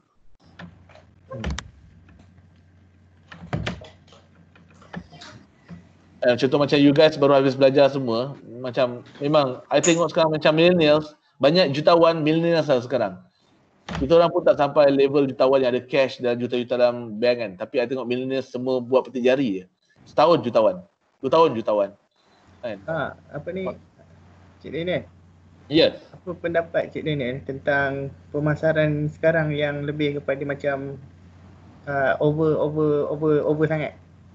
Oh, maknanya macam uh, uh, itulah video-video pelik-pelik tu semualah. Ha, uh, uh, cara macam tu yang macam tu ah. Uh sebagai ha, sebagai okay. point of view sebagai seorang usahawan lah. Uh, bagi saya kan, okay, untuk marketing no limit. Kan? Sebab uh, marketing tu works dekat negara tu. Okay, saya bagi contoh eh. Kenapa LV ataupun Gucci tak pernah buat iklan yang pelik-pelik dekat sana? Sebab apa? Sebab market dia orang matang. Hmm. Maknanya orang yang beli tu matang. Maknanya target market dia profesional. Doktor gaji 60 juta ke 20 juta kan itu. So dia tak perlu buat benda tu, dia perlu menampakkan benda tu mahal sahaja. Tapi untuk target market Malaysia ni dia berlainan. Kan? Bukan nak cakap orang kita tak maju, tapi kita sebenarnya semakin ke belakang. Kan?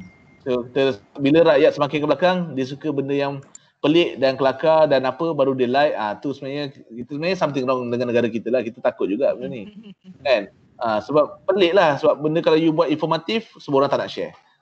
Kan? Contohnya you you make up jadi perempuan semua orang share contohnya macam tu lah kan kan dia sebenarnya nampak sebenarnya dalam uh, social masalah social tu sebenarnya meningkat lah dia ada efek tu sebenarnya kan tapi macam saya cakap bagi saya marketing tak ada had ikut negara ataupun negeri yang mana you uh, berniaga target target tu lah ah, target, yes kan contohnya macam saya cakap lah kalau orang lain buat macam ni kenapa dia buat macam ni sebab apa sebab works dia takkan buat kalau tak works kan sekali dia buat juta view kalau you tengok Indonesia punya market lagi besar. Kita satu juta view kan, dia orang sekali sekali view 6 juta, 6 juta, 6 juta.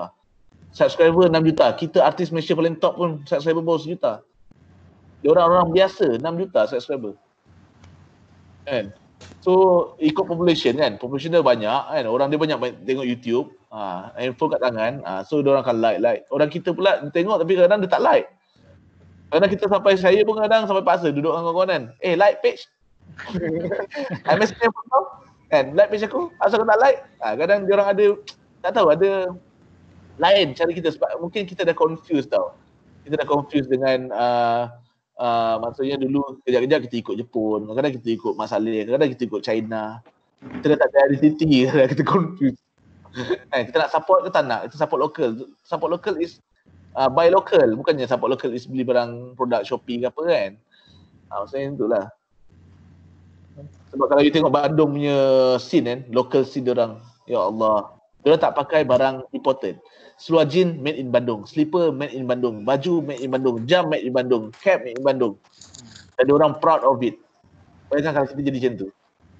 Tapi Encik Daniel, masalah sekarang sebelum ni saya layan lah tempatan fest lah, local punya brand. Ha, ya. ha, kawan saya tu, ha. share tu. Ha. Tapi oh, masalahnya kadang-kadang yang brand dia punya baju dia 50 uh, Okay, saya bagi saya bagi contoh eh kenapa tempatan tempatan face jadi macam tu. Okay. Minggu pertama uh, bukan minggu pertama, event pertama tempatan fest. Okay, semua orang yang jual baju tu legit which is tempatan fest pergi kedai ketuk pintu. Hello, Assalamualaikum. Uh, brand you terpilih untuk kita buka event, boleh tak you join? Okay don't join. So maknanya masa tu adalah uh, band-band yang power lah, Wolfgang lah, apa benda lah semua kan. Okay, semua yang power. Okay. So event pertama works. Semua orang macam wow, gempak gila. Okay, event kedua, event ketiga, event keempat, event kelima jadi apa tau? Okay, you datang, you baru habis belajar contoh. You datang, you tengok, oh, baju macam ni, aku boleh buat. Hari ni aku beli. Esok, next event, you duduk sebelah dia, jual benda yang sama.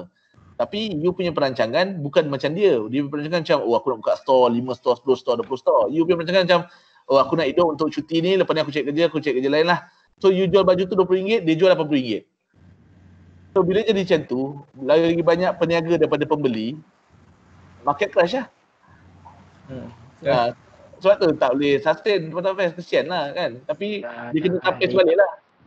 Ha, ada tidak hilang lah. Semua orang jual, semua orang datang kan, semua orang jual. Betul siapa nak beli ni? dulu dulu tak amai oh sekarang mungkin amai. Ah, sama dengan sebenarnya kita kena belajar sejarah. Sejarah dia is perempuan punya bazar. Perempuan punya bazar dulu every weekend dekat KL ni ada perempuan jual buka bazar tau. tapi dah tak ada lah sekarang. Sama dengan tempat fan sama lah. Maksud saya. Dulu mula-mula perempuan datang beli pre-love. Oh barang pre-love. Dah lama semua jual. Siapa nak beli? Hmm. Kita dah lah kecil, negara yang kecil. Demand pun kecil. Kan? Lepas tu kita tak support lagi. Ha, jadi macam tu lah selalunya.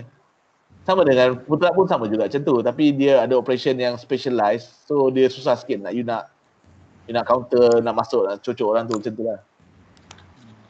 Hmm. Hmm. Sebab saya saya ada satu follow uh, macam yang tuan cakap lah pasal macam market dengan demand semua kan. Hmm. Maybe uh, tak tahu kalau tuan setuju ke tak sebab macam saya ada follow rapat dengan apa Noh Salih Noh Hujan. Ah, Noh Hujan ah. So, dia pun sekarang dah join apa dia dah venture kepada bisnes lebih kepada bisnes lah. Hmm. So, macam dia buat yang Hikari Rider apa semua tu. Ah, motor dia tu ya. Ah, so dia dia memang dia ah, dia memang apa someone yang well known lah kan, orang kenal dia semua. Hmm. Dan bagi saya benda ni kena ada base lah, kena ada fan base lah macam ada pemin ada orang kata pengikut lah. Ah, betul. Kalau kalau maknanya kita memang contoh kalau macam kita yang bukan siapa-siapa ni kita kena push produk kita tu untuk orang kenal dan kalau bila ada pengikut dia maybe kita boleh boom lah. Hmm. Betul. Macam saya saya ni. Ha. Hmm. Okey. Saya, saya punya saya punya saya ikut dia punya apa? Dia punya perjalanan lah macam dia buat ha. bisnes. So memang ha. banyak rangers dia apa semua so memang Betul. Okey lah dia punya tu kan. Hmm. Dia macam ni, kalau artis memang senang. Kalau contoh macam Nilofa eh. Nilofa sekali tweet je eh, sekali jual tudung. Ah 2000 je sekarang 2020. 2017 eh 6 juta dia punya profit untuk tudung saja. Kan? Saya kata Nilofa tu kalau buka mulut je juta lah kan macam susu Nilofa tu kan dia memang bukan cakap yang susu Nilofa ni lagi hit lah lagi 100 juta lah sampai achieve dah kan so artis dengan kita memang lain. Sebab dia ada personal branding dia yang sangat kuat. Which is kalau dia popular tentu dia jual memang laku lah. Kalau tak popular you tengok. Jual apa pun tak laku. Kan? Itu artis lah. Man, tapi kita lagi best sebagai artis sebab apa? Sebab kita tak ada macam artis. Artis kalau tak popular memang jual barang tak laku. Tapi kita sebagai orang biasa ni kita kena value diri kita ni sebab untuk entrepreneur entrepreneur sebagai entrepreneurs. Kan so kalau kita valuekan diri kita sebagai entrepreneurs kan kita ramai uh, kawan-kawan kita sekitar kita semua entrepreneurs dia orang akan support sendiri tau community tu. Kan? Contohnya macam food truck lah. Mula dulu orang meniaga food truck semua orang nak gaduh-gaduh tu. Kan? Tapi saya ambil langkah kawan dengan semua orang. Kan? Bila kita kawan orang uh, memang orang tu mula-mula tak suka kita. Hari pertama tak suka kita hari kedua tak suka kita hari ketiga tak suka kita. Sampai hari ke-10 kalau kita baik dengan orang tu automatik orang tu sayang kita. Kan? Dia, dia kenapa dia perlu tak suka kita walaupun dia tak kenal kita? Selalu manusia macam tu. Dia tak kenal kita tapi dia cakap, "Wah, dia tu tak yalah. Ni ni ni, ni kan." Tapi sebenarnya dia tak kenal kita. Tapi kalau kita baik dengan dia, jumpa dengan dia baik, kan, automatik dia akan suka kita. Personal branding tu memang lagi penting lah. Kan? Sebab dengan personal branding ni, you boleh create produk dan orang akan terima produk you. Kan? Contohnya macam contoh dulu you buat uh, jus mangga sedap. Lepas tu tiba you cakap, "Oi, uh, saya ada produk baru. Uh, is jus kurma." Orang tahu, "Eh, dulu you buat jus mangga bagus, so budak tu pun baik." sedap pula tu kan ha, jom lah try jus kurma dia pula. Ha, lebih kurang macam tu lah. Kan buat baik dengan orang personal branding tu lagi bagus lah bagi saya. Kan macam banyak itu ada isu pasal uh, ada ada lah orang cakap ada coach cakap kalau barat nama produk tu jangan letak nama sendiri. Sebab bila letak nama sendiri susah nak jual. Kan tapi hari tu ada orang post brand Jepun dengan brand orang putih semua nama orang. Ha kan? Louis Vuitton nama orang Vuitton. Kan? Semua benda semua nama orang. Kan? So benda tu tak boleh ah tu tak boleh dia pakai lah kan? Maknanya tak kisah. Jadi you happy dengan nama tu you proud of it you print baju you pakai every day pun you tak rasa malu itulah brand you sebenarnya.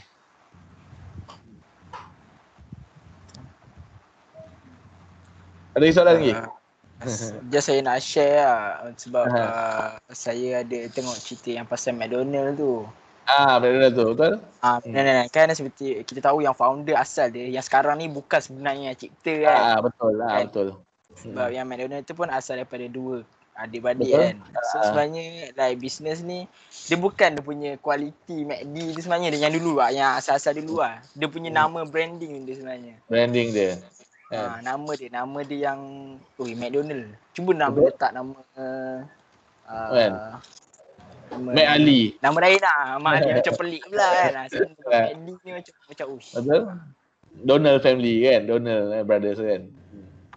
dia macam contoh MACD tu kan, okay, dia ada banyak benda yang kita belajar tau dari cerita tu. Which is, kenapa uh, Mamat MACD tu uh, rugi. Eh, maknanya owner MACD sekarang ni yang betul tak ada, ada satu outlet je. Yang lain semua outlet online kan. So maknanya is orang kampung dua orang tu memang dia asal, okay kita bayangkan itu kampung tau, yang orang start tu kampung. Dia orang takut untuk expand keluar tau. Tapi Mamat ni dah nampak dah. Which is dia cakap dengan menggunakan teknologi. Makanan memang relate dengan food tech. You kalau jual makanan you kena selalu kawan dengan kawan yang ada idea untuk food tech kan makanan you. Untuk halal ke ISO kan. Sebab kalau you tak expand dari situ you takkan boleh expand pun. Contoh macam I cakap kan you makan McD dekat Kelantan lain you makan McD dekat KL lain. Kan? Siapa nak makan McD sebab orang Malaysia memang saya cakap you beli semua burger McD yang basic lah burger McD, Big Mac, Mac Chicken apa benda semua you tutup mata you makan you boleh beza kan sebenarnya betul tak kan otak you dah dah dah code dah Ah, oh, ni Big Mac. Oh ni Mac Chicken. Oh ni nugget dia. Kan? Sebab dia dah kodekan dalam you punya otak tu, rasa-rasa-rasa tu semua. Dan sama. You pergilah mana-mana pun, Kantan ke Melaka pun semua rasa sama. Kan? Tu yang orang yang kat dalam cerita Mac tu, dia nak expand tapi yang kampung tu tak nak. Kan? Sama dengan Starbucks. Saya jumpa owner Starbucks eh, 2015 saya jumpa founder of Starbucks. Founder of Starbucks ni tiga orang. Tapi dia sama macam sistem ini juga. Dia baru sempat buka tiga outlet je. Lepas tiga outlet tu yang expand Starbucks sekarang ada dalam berpuluh ribu dalam dunia. Setiap setengah jam hidup kita, Starbucks buka satu tau dalam dunia ni. Ha, bayangkan, setiap setengah jam dalam hidup kita, Starbucks buka satu dalam dunia. Bukan dia orang. Bukan founder. Pekerja, ex pekerja dia. Pekerja dia pernah ada manager seorang ni. Manager ni memang sangat power lah. Manager ni yang offer untuk buy off semua dan dia orang jual kat manager ni dan manager ni lah founder uh, bukan founder CEO Starbucks sekarang ni uh, bayangkan macam mana kalau kita dapat pekerja power macam tu kan best kan Ha, bayangkan Starbucks. Starbucks ada macam saya cakap setiap setengah jam hidup kita.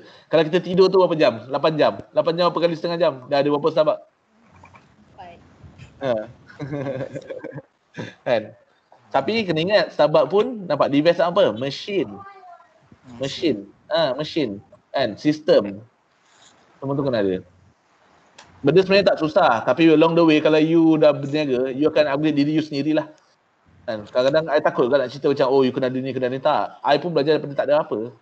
Tapi along the way I baca macam oh if iPhone ni kalau nak edit gambar, kalau bayar graphic designer mahal. Kenapa tak bayar Canva RM10 setahun ni? Ah ha, contoh macam tu lah. Kan? So I bayarlah Canva, apps Canva tu RM10 setahun. I buatlah sendiri yang malam, I post. I buat, I post. Sebab dia template kan dah siap. Uh, so uh, I tak payahlah bayar graphic designer yang mama sebab I pun tak ada duit. Uh, lebih kurang macam tu lah.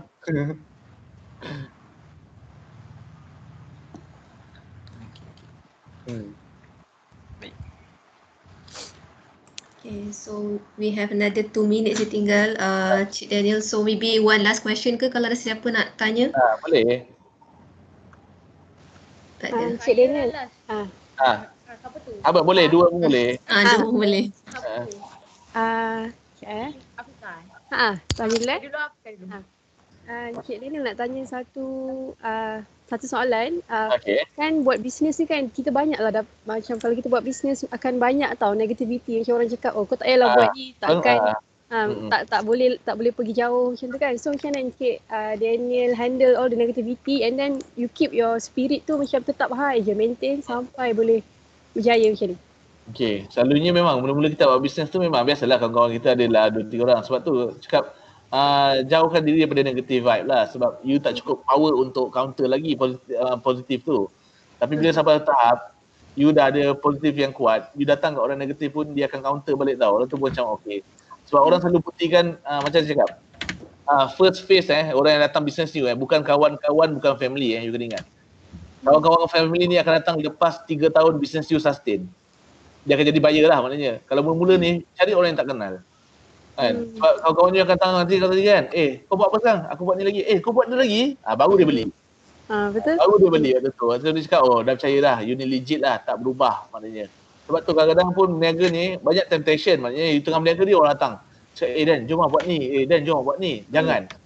Sebab I pun dah terkena benda-benda macam tu. Sebab you tak boleh fokus, tak akan berjaya. Hmm. Kan? Ah, you kena fokus kalau beli satu produk tu main lama, 5 tahun, 7 tahun. 10 tahun. Kan baru you jadi pakar orang cakap kalau bahasa kasar dia pakar gila lah. Hmm. Ha, dalam produk you tu. Barulah orang percaya you. Telefon you. Contohnya kalau jual produk kecantikan 10 tahun. Orang akan call you tadi. Macam mana I nak cantik ah? Macam mana I nak cantik ah? Sebab dia tahu 10 tahun you, you main produk kecantikan. Contohnya itulah. Hmm. Kan? Kalau you tahun depan jual produk kecantikan. Tahun depan jual makanan. Tahun ketiga jual empat. Lepas tu kawan you pun tak tahu nak value kan you ni apa. Eh hmm, dia betul. ni kena call dia nak untuk apa kan tanya kan. Ha. Lebih kurang macam tu lah maksud saya. Okay. Terima kasih Cik Daniel. Ha. Uh, Ah, okay, Cik Daniel, last question. Ah, ya. Yeah. Uh, Boleh. Macam Cik Daniel minat camping buat glamping. Ah, uh, uh. Nak makan buat food truck. Ah, uh, uh. Ada ke any other idea after this nak tukar masuk bisnes baru ataupun fokus on those two je? Uh, so far macam contoh saya cakap, saya nampak semua bisnes sama. Macam saya suka makan, saya nak suka makan tapi dia ada produk, dia ada marketing, dia ada money management tu. Glamping pun sama. Untuk kalau lepas ni saya nak buat pun saya memang saya dulu saya cakap diri saya saya tak pernah ada produk. Contohnya macam produk kecantikan lah tak pernah ada. Tapi saya rasa cakap eh kalau aku buat mesti best mesti boleh pergi. Tapi biasalah bila nak buat tu masa pula tak cukup. Sebab so, dia ambil masa tau. Macam contoh kalau you buat satu produk uh, produk tu you kena maknanya siapkan dari segi stiker dia, packaging dia, lepas tu video marketing dia, ah R&D dia, Lepas tu baru you confident bila you dah katam bagian tu, barulah orang tanya you apa persoalan pun pasal produk you, you tahu. Kan? Contohnya macam uh, orang tanya, okay pasta you berapa gram? Okay pasta air 200 gram. Okay, uh, you punya wages berapa gram? Uh, semua tu you boleh jawab. Sebab tu soalan-soalan yang kadang-kadang orang nak try kita. Tahu. Dia nak contoh macam yelah biasa tanya ni contohnya tu orang yang F&B lah yang macam chef ke apa kan. Uh, pasta you pakai brand apa? Uh, berapa lama you rebus? Uh, contohnya tu. Sampai tahap you dah boleh counter tu maknanya you dah is enough lah you boleh move to business lain lah maknanya you dah pakar lah benda tu kan tapi untuk macam saya lepas ni kalau business saya nak buat pun mungkin melibatkan produk sebab saya suka tengok orang jual produk macam saya cakap millennials saya jumpa millennials yang jutawan-jutawan ni semua yang jual produk dia orang buat kerja online je tu yang seronok tu kan dia orang buat produk cantik lepas tu dia orang post ah kan? ah belakang tabir you bayangkan eh tak turun pun. Bayangkan simple ni eh. You create satu produk, you cari agent dengan stokis, you bagi harga agent dengan stokis, you duduk rumah tunggu order je. Orang lain agent ha. stok. Ah, betul. Lepas tu you buat competition. Dia nak lagi laju, you buat competition. You cakap, okay, siapa yang dapat habiskan 100 kotak ni, aku bagi kau cuti pergi Langkawi free semua. You tengok macam dia orang bekerja. Lagi liter. Lagi laju. Ha. Kan? So macam cakap kadang uh, jadi jadi jadi main brand ni lagi best daripada you kat depan. Tapi kadang-kadang ada benda yang you perlu ke depan sebab Malaysia punya market dia kena kenal you, suka you baru I beli. You bayangkan eh kalau you I tak suka you, you jual I pasta RM1 pun I tak beli. Tapi kalau I suka you, I jumpa first impression you, ui bagus lah dia ni, eh cantik lah dia ni. Ah kalau perempuan biasanya tu lah, eh cantik lah dia ni kan. Jual apa pun laku. apa sebab suka ah ha, suka sama suka baru jadi bisnes. Kalau tak tak jadi. Hmm. Okay. Okay. Alright. Hmm. Uh, so dah 12.30 pun janji dengan Cik Daniel pun 11 uh. nanti 12.30 takutlah Cik Daniel ada any uh, other appointment or session. Okay. Alright so um, I would like to say uh, on behalf of uh, Focus Learning as well as uh, pihak ProLintas itself, we would like to really thank you for your time and sharing today. Uh, mungkin kalau ada apa-apa any uh, last advice for the uh, participants ke Cik Daniel? Okay, last advice untuk saya macam contoh kan. Okay, bila dulu saya habis belajar pun, saya takut tau untuk berniaga. Kan bapak saya uh, waktu tu tanya saya lah sebab bapak saya pun orang berniaga lah dia tanya okey nak buat apa ni selepas belajar? Saya cakap nak berniaga. Dia tanya lagi sekali nak buat apa ni selepas belajar? Nak berniaga. Betul nak berniaga? Cakap betul. Kan betul bu, ayat bapak saya satu je boleh minum air kosong kenyang? Kan saya fikir minum air kosong kenyang ah boleh juga kan ah kalau kau boleh minum air kosong kenyang kau boleh berniaga kan sebab sampai tahap kadang-kadang waktu you down tu bukan pasal duit tau. You tak nak makan tak nak apa pun tapi you nak air kosong, you nak relax, nak tenang, nak fikir balik vision you semua apa yang selama ni daripada kecil you nak jadi kan. Ha. You kena combine tu semua. So macam apa saya cakap lah, kalau boleh minum air kosong, boleh lah uh, berniaga. Sebab berniaga ni tak susah. Tapi dia tak senang. Ah, dia tu. Ah, dia tak susah, tak senang. Sebab tu cakap dia relate pada passion. You bangun pagi kalau you ada passion, contoh macam puan ni lah kan, dia suka training orang kan. Dia bangun pagi dia tak pernah rasa dia kerja pun. Eh, dia tahu eh dah balik. Tak tahu, ui dah 6 tahun lah aku buat benda ni. Oh ni ke kerja. Kadang-kadang I pun tak tahu apa masuk kerja. Macam ni, I tak tahu pun ni kerja tapi I suka sharing dengan you guys. Kan kalau you guys call I WhatsApp I lepas ni pun I reply je. I okay je. Kan? I happy dengan apa yang I buat. Kalau boleh happy dengan apa yang you guys buat, produk nombor dua. Kan? Kalau contoh you suka apa, you relate dengan apa, you jual benda tu. Lagi happy. Sebab you akan explain benda tu secara naturally. Sebab you suka benda tu. Itu nasihat saya lah. So kalau ada sesiapa yang kat sini berminat nak buka bisnes, uh, bolehlah contact uh, Cik ah, Daniel boleh. Ah. untuk hmm, kalau cerita kalau nak ke. makanan ke apa lagi lah kan, lagi bagus. Hmm. Boleh. So, participant ada yang ada yang berminat ke nak nak buka own business? Hmm. Boleh cuba insyaAllah macam cakap happy duit datang. Kata happy duit tak datang. Hmm. Saya nak jual burger. Saya, saya rasa kan ya Cik Daniel ramai yang dah inspire tu. Hmm. Uh, InsyaAllah. InsyaAllah. Uh, terima kasih Cik Daniel di atas uh, perkongsian tu. Sama-sama. Ya, saya sendiri pun uh, inspired juga dengan apa yang Cik Daniel cerita tadi. Ya, sebab apa you start from zero kan. From zero hmm. into something tu that is really inspiring lah. Uh, ya, yeah. of course the journey tu masih jauh dan panjang. Hmm. Tapi for me uh, the experience tu memang satu yang valuable lah. Ya, yeah. especially pada kami ni dan diri saya sendiri yang dah dah dah five series ni yang tak masuk-masuk hmm. dalam business kan. Uh, tetapi uh, of course uh, bab kata Cik Daniel ni dalam bisnes ni tak tak semua hari tu indah kan. Hmm. Uh, ya sebab tu dia punya benchmark dia kalau minum air kosong boleh kenyang tu kan Hmm. Ini how tough orang tu ni. Ha, sebab orang nampak yang berjayanya je kan. Dia tak nampak hmm. ada difficulty dia tu kan. Hmm. Jadi uh, saya terima kasih juga kepada Cik Daniel kerana memberi ruang kepada uh. anak-anak adik-adik dalam kumpulan ni ya untuk berhubung terus dengan Cik Daniel. Ya, I, I believe they need a, a good mentor lah. Hmm. Ya, dia nak go into business. Ya, terima kasih for your time Cik Daniel. Sama-sama. Thank you for the knowledge. Halalkanlah ilmu yang diberikan tu. InsyaAllah. Allah panjang umur rezeki, kita jumpa lagi. Amin. Uh, uh KL kat mana lokasi ya? Uh, kita kalau kat KL, kita kat Taman Tun, lunch kita kat Jalan Dungun, Daman Sarahai. Ah, yang di Taman Tun tu waktu bila? Taman Tun dah dinner. Oh, dinner. Uh. Nanti lah nanti pada office nanti Dira kita boleh lah singgah kan? ah boleh. Saya dah cakap dah datang. Ah, kita ada buka ada restoran sebab kita dah partner dengan uh, tu kan. Uh, boleh datang lah. Okay, nama yang sama lah ya. Le Family Gear ada. Ah, ya betul. Uh, okay, alright, alright. Okay. Okay, good luck and and I wish you the best, Cik Daniel. Terima kasih. And uh, you can be a boleh good, share uh, contact ke? Ah boleh nanti ah uh, senang, paling senang is buka je La Familia punya apa uh, Google La Familia ada nombor phone tu ah tu nombor phone memang saya punya direct. Ah right. Ha. Uh. IG ke? Sama. IG ah uh, Okay, kalau untuk La Familia, IG dia La Famiglia 187. Untuk The Hideout is The Hide HID 3 out. Hideout. Ah, uh, boleh follow dua-dua tu. Semua ada phone number memang phone number saya direct. Kalau you tekan button call tu memang terus ke phone saya. Konsol satu ni eh? Ah, uh, betul. Okay. Thank you. Sama. Okay, thank you. Thank you Cik Daniel sekali lagi ya. Thank you. Thank you. Jumpa lagi. InsyaAllah. Bye. Thank you Encik Daniel. Okay, sama. Thank you Encik Daniel. Okay guys, uh, for, for the rest of you, uh, kita akan meet up again uh, pukul 2.10 boleh ya? Boleh. Okay, pukul 10 kita akan sambung sesi kita. Alright, jumpa lagi insyaAllah. Assalamualaikum. Assalamualaikum. Terima kasih. Terima kasih.